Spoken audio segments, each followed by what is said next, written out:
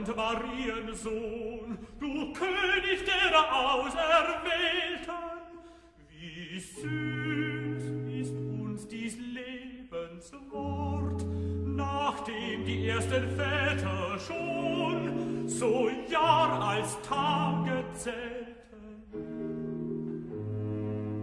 Dass Gabriel mit Freuden dort in Bethlehem verheißen,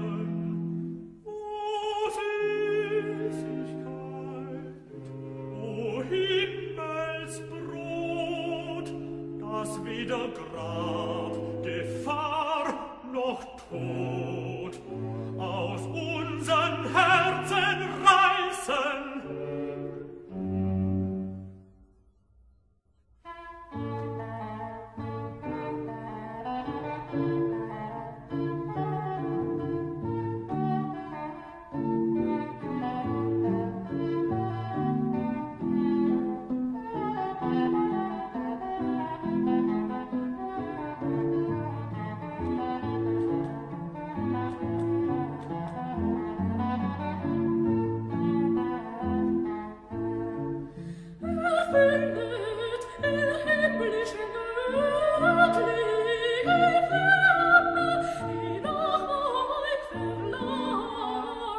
Gott, der Trost,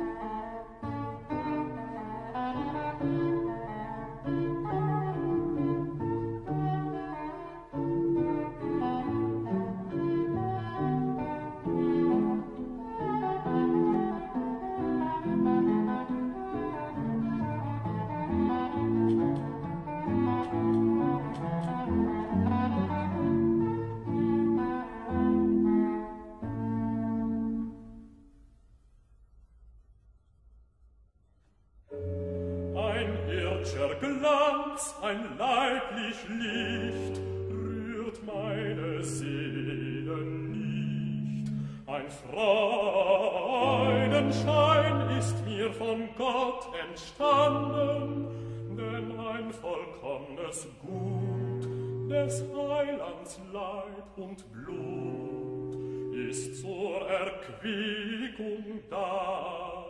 So muss uns ja der überreiche Segen, der uns von Ewigkeit bestimmt und unser Glaube zu sich nimmt zum Dank und Preis bewegen.